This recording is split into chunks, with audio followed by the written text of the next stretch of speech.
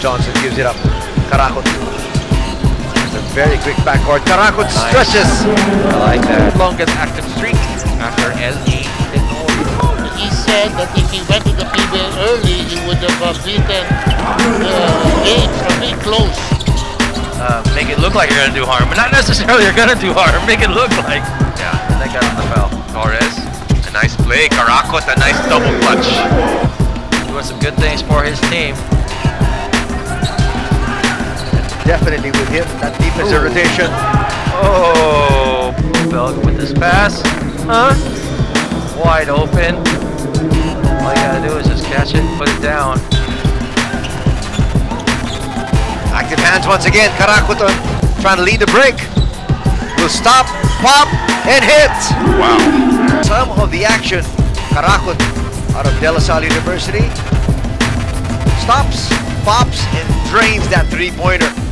Also in the ball game, former member of Rain or Shine involved in that trade with Sidney Onwubere. Nice pass, and that one-hander is good for Caracut. like uh, Gil Ponferada did a pretty good job of uh, baiting him there.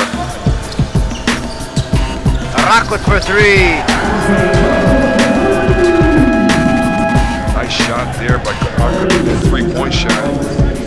Of course, uh, now Alaska's a little concerned, calling a timeout. Two prime-time big men in Junmar and Tautuaa.